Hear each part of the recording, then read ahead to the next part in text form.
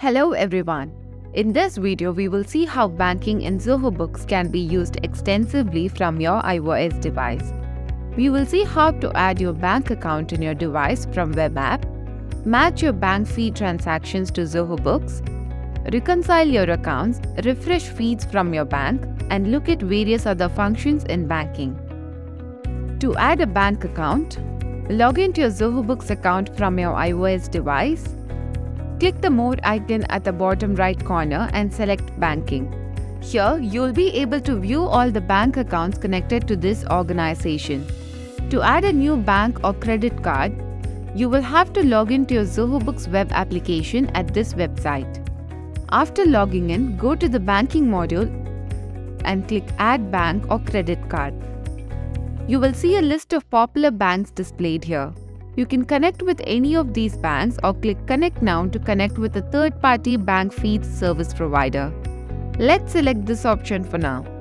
You will have to agree to the terms and conditions provided by the end user license agreement to use the automatic bank feeds and click Proceed. Now select any one of the third-party service providers such as Yodlee, Token or Plaid from the drop-down. The list of banks supported by Yodlee will be displayed. You can select the bank or the credit card you wish to connect to Zoho Books. If you do not find your bank, you can select the other service provider and search for your bank. Enter the username and password and click Submit. You will be prompted to select the date from when you want to fetch the bank feed. Then click Add. Now Zoho Books will fetch your bank feeds periodically from your bank. After connecting your bank account here, you can view them from within your iOS app. Now, whenever transactions happen in your bank account, Books fetches the bank statement and displays them under Uncategorized. On clicking the bank transaction, you can choose to match the transactions from Zoho Books to your bank feed. Zoho Books will scan the list of transactions you create within the app using the transaction date and the amount of the bank feed and show them as possible matches. You can select the appropriate transactions and click Match to match the feeds to Zoho Books.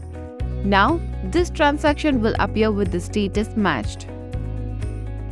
Note that unmatching the transactions is supported only from the web application. There are cases where you have made or received payments and have not recorded the transaction in Zoho Books. In cases such as these, you can choose to categorize the bank feed manually.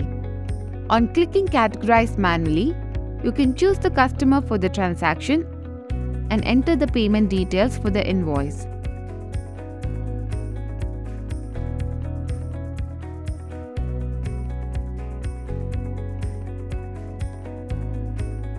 Then click Save.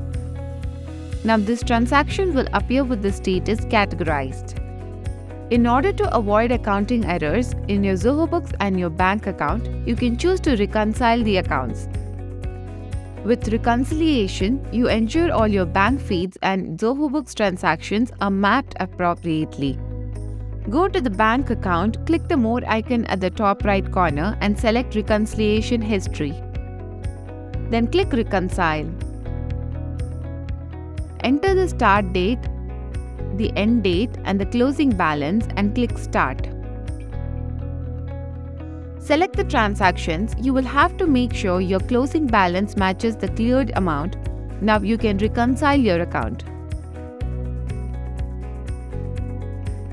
If your bank feeds are not fetched automatically, you can choose to refresh your feeds here.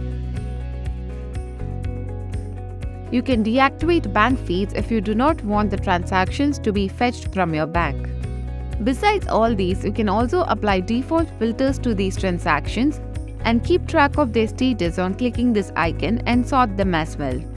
And that brings us to the end of the video. If you found this video helpful, don't forget to like the video and subscribe to our channel. Do click the bell icon to get further updates from us.